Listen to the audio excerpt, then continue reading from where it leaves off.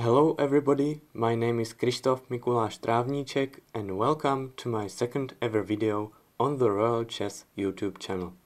Today I decided to make a video about how to play a certain type of positions.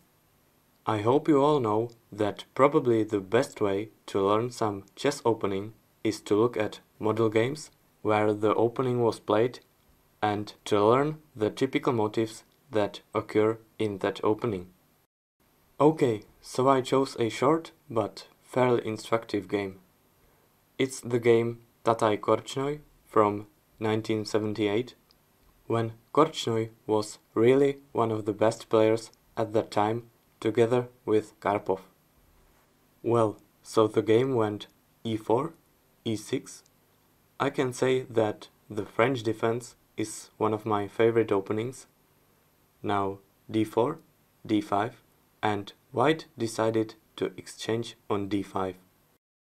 Some people who play the French may say that this is a slightly unpleasant variation for them because such players often strive for more dynamic positions. On the other hand, white gives up his opening advantage very early. I'm not saying that it's impossible to win with white from such opening, but this continuation is just very drawish compared to others. White played bishop d3, but now there is a very good continuation c5 which happened in the game.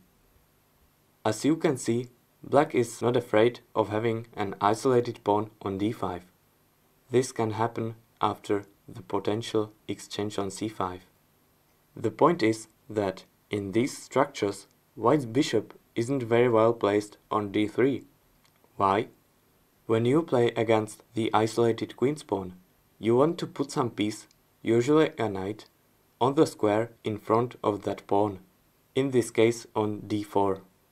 But when white's light-squared bishop is on d3, white's task of achieving that is harder, because the bishop is blocking the view of white's queen. That's the reason why white would be happier if he had the bishop on e2 and not on d3. In the game, white played knight f3 because he doesn't want to develop black's dark squared bishop right away. It would be more favorable for white if black spent a tempo on playing, let's say, bishop d6, because only then white would take on c5 and black would have to lose a tempo on taking back. After knight f3, black played knight c6 and now queen e2 check happened. This is a double-edged decision. White wants to temporarily win a pawn, but black won't have any problems with his development, while the queen on e2 may become a target. After knight c6, the safest option is to play c3 with the idea that after c takes e4, white can recapture with the c-pawn. The position would be very equal, but personally I would probably prefer c3 to other moves. The game continued bishop e7, d takes c5, knight f6, and now h3. This is clearly an inaccuracy. It's obvious that White prevents black from playing bishop g4 with an unpleasant pin, but he's omitting his development. Black castled, white also castled, and now bishop takes c5 happened. And we can see that black already has a really good position. Now white played c3. This may seem logical, but again, white doesn't develop any piece and now his position is already extremely bad.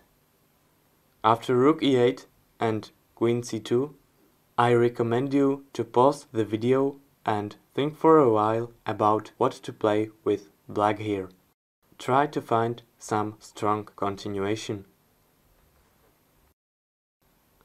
So there is a strong move queen d6 which was also played in the game. I guess that for those of you who are familiar with this structure, it wasn't hard But still, it's a nice idea and it's very useful to remember it.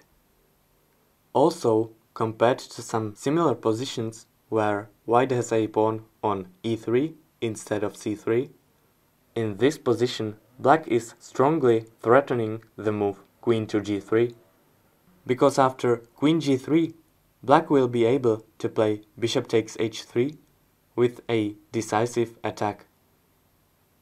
In some similar positions, black might also have another idea. He could create a so-called battery by moving the bishop to c7. Here it isn't necessary because the bishop is attacking the f2 pawn, so it's very active. After queen d6, white played knight bd2, which doesn't prevent the move queen g3, but white's position is just very bad after any move. After king h1 instead of knight bd2, black would play knight e4 with, for example, bishop f5 next and white would lose soon. So in the game, black played queen g3, threatening bishop takes h3, and white's position is just hopeless. White continued bishop f5, preventing bishop takes h3, and what would you play as black here? You can pause the video and think. Korchnoi came up with the move rook e2. This is a strong and natural move, increasing the pressure on the f2 pawn. As I said, white's position is definitively lost. White tried the move knight d4. He wants to cover this g1 a7 diagonal and again tried to find the best continuation for black. It's nothing hard. Korchnoi played knight takes d4 and white just resigned. It may seem really incredible that black won in 14 moves and in an exchange French against a player with a rating of 2450. But on the other hand, black did only quite easy and logical moves. So I have to recommend you to try out this c5 line against the move bishop d3. I hope you enjoyed watching this game, my analysis and the whole video. This is everything from me for now. Thank you for your attention and see you in some next video. Goodbye.